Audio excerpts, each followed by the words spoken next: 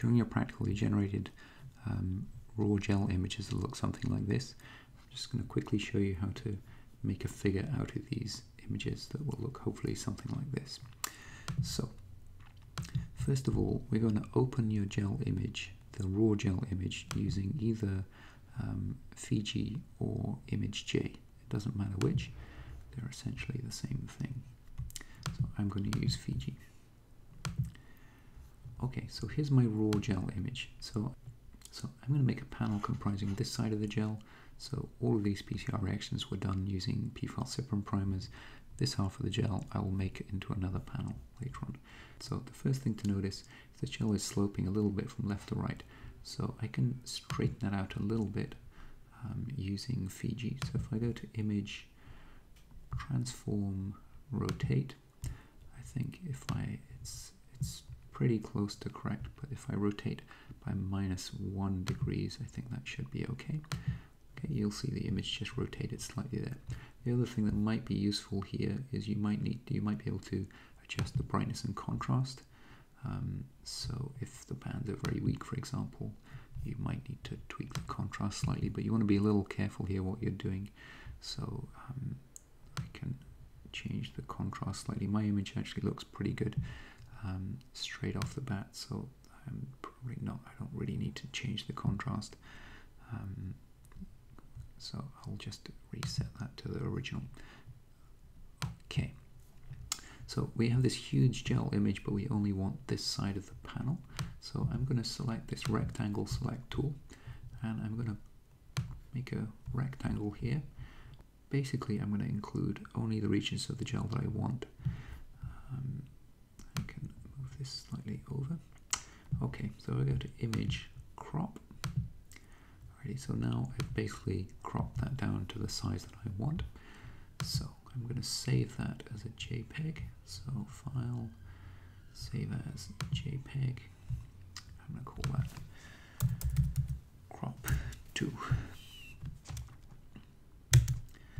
Okay, so I'm for the time being done with or image J there. So now I'm going to put that image into a PowerPoint file. So I'm going to make a new presentation. Okay, so to do this, um, I prefer to use an A4 size paper rather than a slide setup, but I guess it's not critical. So if I go to page setup, I can select A4 paper, and I want the A4 to be vertical. So, okay, I would, okay, so I'm just going to get rid of these boxes. Okay, so now I can add in my, my cropped image that I just made. So, okay, I'm just going to drag it onto the file. So it's enormous. So I'm going to resize it. Um, if you grab the corners, it should resize proportionally. Make sure you don't stretch the gel in one dimension, but, but not the other. Okay. Okay, so it would be what we need to do now is label um, the various bits and pieces on the gel. So first of all, it'd be useful when we're writing in a text if we can refer to, uh, say, figure 2a, lanes 1, 2, 3, 4, etc. So I'm just going to number the lanes at the top here. So if we have lane 1, 2, 3, and 4. Okay, so I'm just going to move this over and I'm just going to put spaces in here to space out the numbers appropriately. Okay, so that looks fine. Okay, the next thing would be nice to do would be um, to label the molecular weight markers. So um, the lowest molecular weight marker here is actually a little bit hard to see. It's not super bright, but it's actually this one right here, which is 50. So um, I'm going to put a little line next to each one such that it's a little bit clearer. Um, okay, so the 50 marker is actually that faint band right there. Okay, this is a little bit thin, so I'm going to increase the thickness of the um, line there. Sorry. Go to shape outline weight, and I'll just go to 3. Okay, so now I have a reasonable thickness line. I'm going to just copy that and paste it. So I can just select it. So edit, uh, copy, and then edit, paste. Okay, so now I have another identical line. So it's easy to make them the same if you just copy and paste them. I'm to put that there. I'll copy and paste that again. Put this up here. I'm to copy that one. Okay, I'll just copy and paste one more. So we'll go. Okay, so these are not perfectly aligned, so I'm just going to select all of these and then align them such that they're all in a nice straight line and I'll line left. Um, okay, so now I just need to put in the values of the molecular weight markers indicating how big each of these molecular weight bands are. So I know this lowest one here is actually uh, 50 base pairs. Okay, so there's my 50 base pairs. One up is 100 base pairs. So I can, and next one is 200.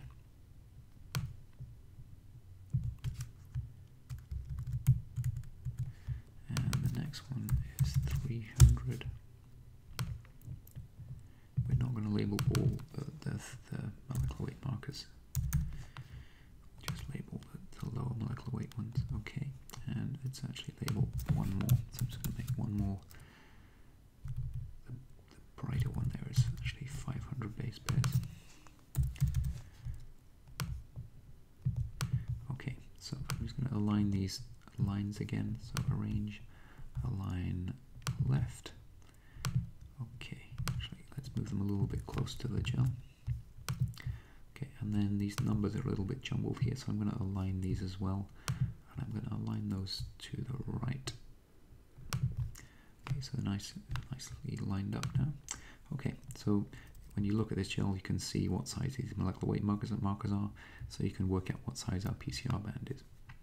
Okay, so the other thing that would be useful here is to actually label each of the lanes here. So when you look at the gel, you can immediately see without having to read the legend what's what. Okay, so in my first lane here, I have DNA from patient 4. Okay, so I can just rotate this around such that it's vertical. I have enough space for my label. I just move it there. My second lane is actually also patient 4. It's simply a repeat. So I'm just going to call that patient 4 repeat. Oops. Okay, I'm going to rotate that again. And just place it up here. My third lane here is actually a positive control for pFalciparum.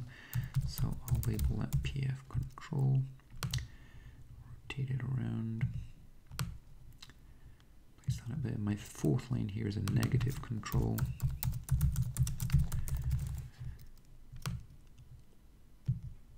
Okay. All right, so I'm just going to align these to the top, so they're, they're actually pretty good. But, align top, so they're all in a nice straight line. I'll move them a little bit close to the gel. Okay. So the other thing that might be useful here is if we have a little arrowhead pointing to the band that we're interested in. So when we refer the, the reader to the um, gel, we actually have a couple of bands in this in these lanes. So there's the main band here. There's also a weak band up above. So it would be useful if we can tell the reader to look at the the lane that we've or the band that we're actually interested in. So I'm just going to put a little arrowhead next to the um, band that we're interested in. And so we can tell the reader what to look at. Okay, so that's our um, gel annotated. So it would also be useful here to indicate which primers we used for these PCR reactions. So in this figure, um, these were all p-falciparum primers.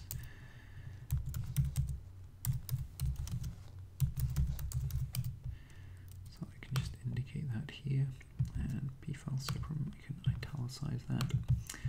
Okay, so I think we have everything we need there. So I'm just going to save this.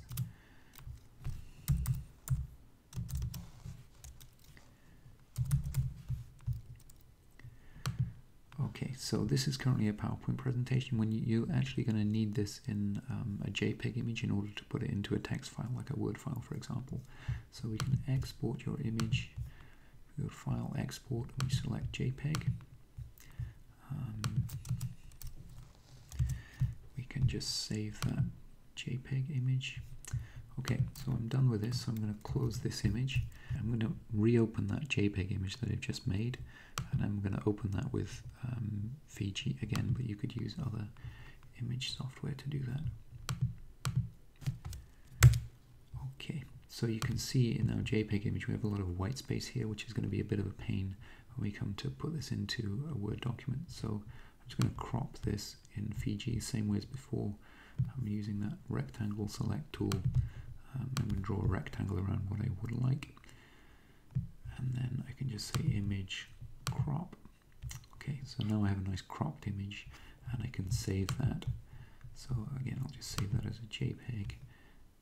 And okay, so this is an image I can use um, in my figure.